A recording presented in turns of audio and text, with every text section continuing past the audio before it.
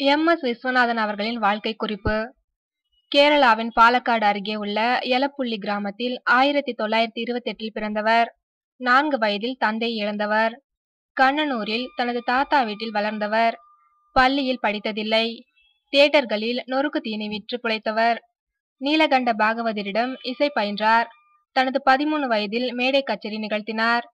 நடிகர் பாடகராக வர வேண்டும் என்பது அவரது விருப்பம். அது நிறைவேறவில்லை. சினிமா கம்பெனியில் சர்வராக வேலை பார்த்தவர். பிறகு இசையமைப்பாளர் சி. ஆர். சுப்புராமன் குழுவில் இசை ஹார்மோனிய கலைஞராகவும் டி. கே. ராமமூர்த்தி குழுவில் வயலின் கலைஞராகவும் சேர்ந்தார். சுப்புராமனின் திடீர் மறைவால் பாதியில் நின்று அவரது படங்களை இவர்கள் இருவரும் முடித்து கொடுத்தனர். தேவதாஸ் சண்டி ராணி போன்ற படங்களில் இணை இசையமைப்பாளராக அறிமுகமானார். பணம் திரைப்படத்தில் ஆரம்பித்து ஆயிரத்தில் ஒருவன் வரை எழுநூறு திரைப்படங்களுக்கு இணை இசையமைப்பாளராக பணியாற்றியுள்ளார். எம்எஸ்வி தனியாக ஐநூறு படங்களுக்கு மேல் இசையமைத்துள்ளார். இளையராஜாவோடு சேர்ந்து மூன்று படங்களுக்கு இசையமைத்தார்.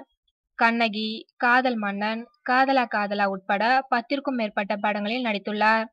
பீம்சிங் கிருஷ்ணன் பஞ்சு திருலோகச்சந்தர் கே. பாலச்சந்தர் ஆகிய நான்கு இயக்குநர்களிடம் அதிகம் பணிபுரிந்துள்ளார்.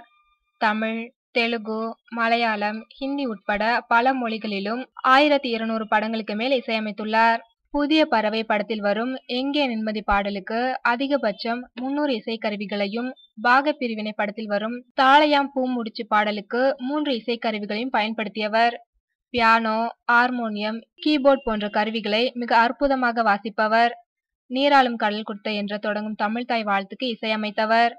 கர்நாடக இசை மேதைகள் எம். எல். வசந்தகுமாரி பாலமுரளி கிருஷ்ணா போன்றவர்களை தன் இசையில் பாட வைத்துள்ளார். இவரும் பல பாடல்களை பாடியுள்ளார். இந்தியா பாகிஸ்தான் போரின் முடிவில் ஆயிரத்தி தொள்ளாயிரத்தி அறுபத்தி ஐந்தில் போர் முனைக்கு தன் குழுவோடு சென்று ஹார்மோனியத்தை கழுத்தில் மாட்டிக்கொண்டு காயமுற்ற படை வீரர்களுக்காக பாடினார்.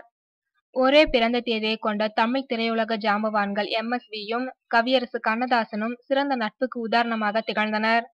இவர் இசையமைத்த அத்தான் என்னத்தான் போன்ற பாடல்களை பாடும் வாய்ப்பு தனக்கு கிடைத்தால் சென்னையிலேயே தங்கிவிடுவேன் என்று லதா மங்கேஷ்கர் ஒரு முறை கூறினார். மேலும் இவர் மெல்லிசை மன்னர் கலைமாமணி திரை இசை சக்கரவர்த்தி உள்பட பல பட்டங்களையும் பிலிம்பேர் வாழ்நாள் சாதனையாளர் விருது உட்பட பல விருதுகளையும் பெற்றவர் எம் எஸ் விஸ்வநாதன் என்பது குறிப்பிடத்தக்கது.